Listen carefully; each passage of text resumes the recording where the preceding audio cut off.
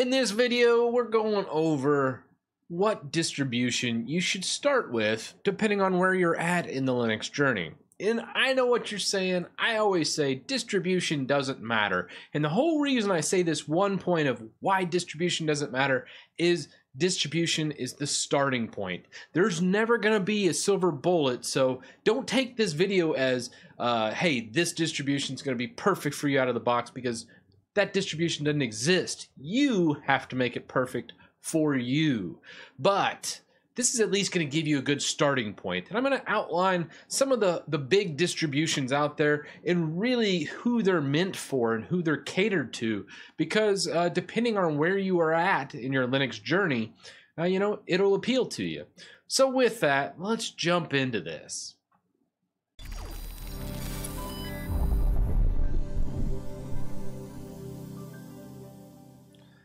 So the first one I wanted to showcase is Ubuntu because uh, at the, its core, almost all distributions uh, that are known to newbie users revolve around Ubuntu. It's a very newbie friendly distribution and it is based on Linux Mint eh, or, or Linux Mint and Pop OS are both based on Ubuntu uh, among a hundred other distributions, but those two are ones I always recommend for newbie users. So uh, I wanted to bring up these three in tandem because to me, they're all the same thing. They just have a different aesthetic.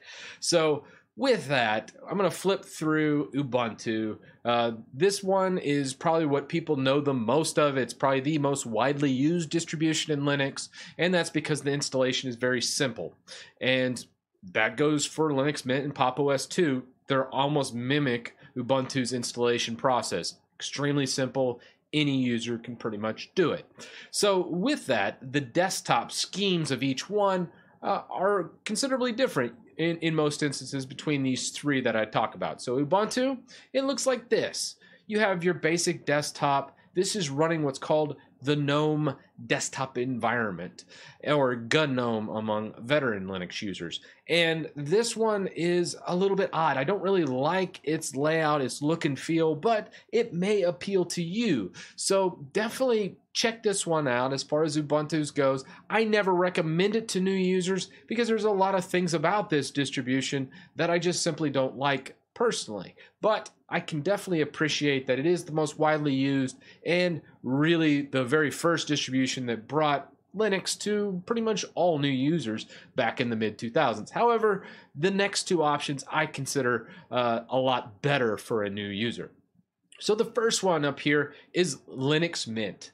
This one is really nice. You have this very Windows esque look and feel. It uses what's called the Cinnamon desktop environment, and it is really something uh, because so many new users immediately go to Linux Mint because it just feels kind of like Windows, but it's a lot faster, it's a lot more reliable. Uh, it has all those benefits of Linux, so the learning curve's not quite as high, which is really nice.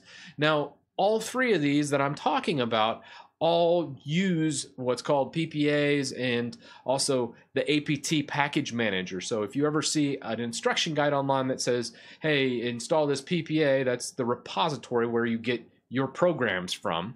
And then you also have APT install. This is how you install a program on any uh, Debian or Ubuntu based distribution. So this encompasses pretty much half of Linux. So this is where most guides come from but so many new users coming to Linux, uh, just know there are other guides out there written for other distributions that I'm going to talk about.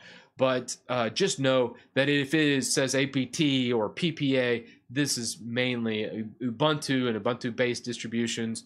Um, and that's where a lot of this comes from. Uh, so when looking at guides and following along, it's really important to distinguish the package managers. Uh, but this was a Linux Mint is really what I want to talk about in the Cinnamon desktop environment. Now, going forward, you have Pop OS. Now, this looks a lot like Ubuntu in a lot of ways because it uses the same desktop environment, GNOME. So people are like, well, why would I use Pop instead of Ubuntu? And the reason being is it's much more friendly to gamers. Out of the box, they have two types of installs. So if you have an NVIDIA card, they have a specific install for NVIDIA users which is really nice. They also have a lot of good system tweaks. So this makes probably the de facto recommendation when it comes to gamers coming to Linux. Almost all gamers need a lot of these tweaks that Pop! OS has already made. And Pop! OS is made by System 76, which is a, a manufacturer that basically manufactures pre-built Linux machines.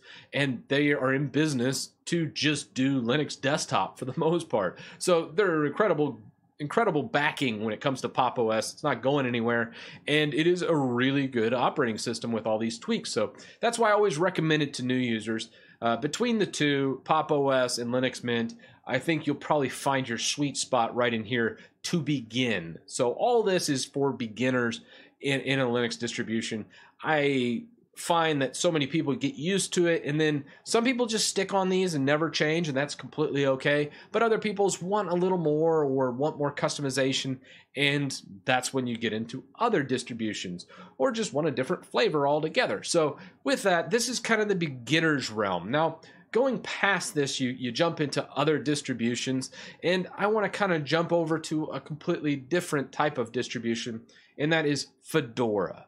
Fedora is based on what's called Red Hat Linux or Red Hat Enterprise Linux, and this one is rock solid. I've have my longest running Linux distribution here at the house actually is Fedora. It's actually running Fedora 27, I think, and it's a, a laptop my wife won't allow me to touch, but it's an 11 year old laptop that has just been running Fedora for a long time, and she uses it for schoolwork and other things. And she's like, "Hey, you're not allowed to touch my laptop. Anything you touch, you like to tinker and eventually break." And I'm like, "Well, that's a, that's a fair assessment."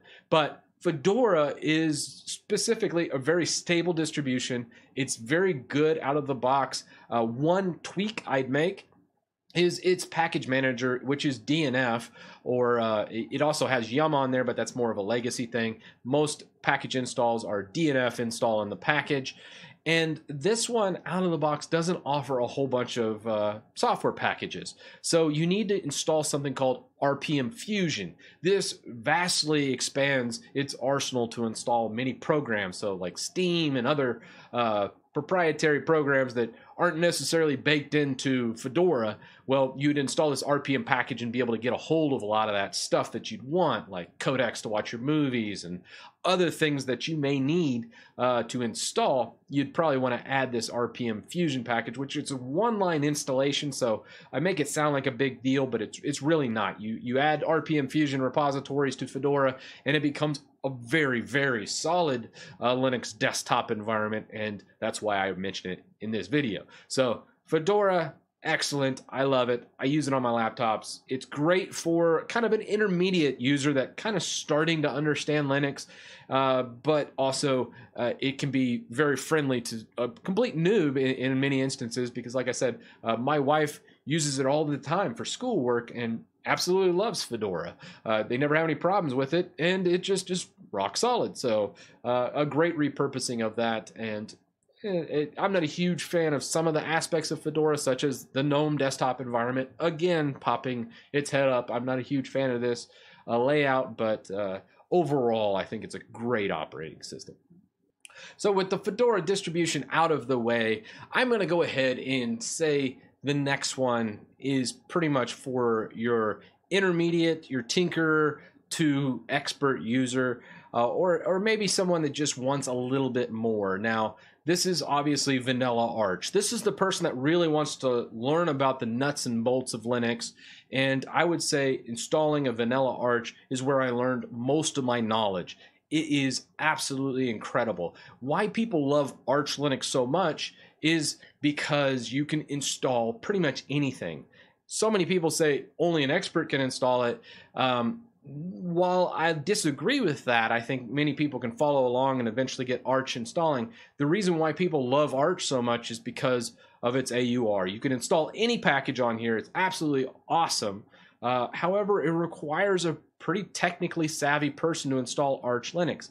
Now, some people say, well, I want all that, but I don't really want to mess with this really complex, you know, expert like distribution, which is Arch Linux.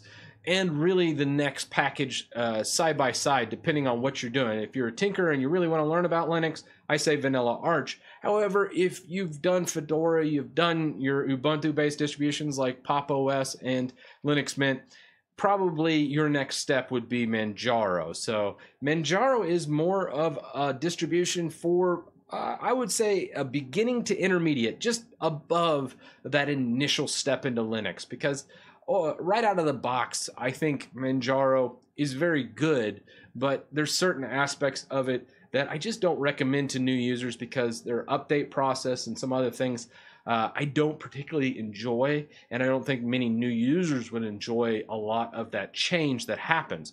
However, any Arch based distributions, which I'm talking about Manjaro and Vanilla Arch in this instance, is you get bleeding edge packages. If you just heard that there's a new uh, video driver out or a new Mesa driver for your AMD GPU and you need to install it right away, Arch Linux is where it's at because you get that package almost immediately directly from the repositories without having to install anything which is pretty incredible. All you, all you do is just a system update, and it just updates all those existing packages because of how quickly the turnaround time is in Arch. But with that, it's a double edged sword, meaning that's awesome. You get the newest packages, but you also get the newest packages. And why that's a bad thing is sometimes there is some issues here. I've had my Arch install break before because I updated something you know, a couple days after it was released and it had some bugs. So I didn't enjoy that process. But with that, if you're going to do Arch, always use Timeshift. And I made a video about that. I'll link it up here in the title card. But with it, check out this. It is a really incredible backup software that is completely free, as with most things in Linux and you can re- roll it back. So you do your updates and go, oh crap, it's buggy or it just doesn't fit your, what you're going for. You just hit roll back this time.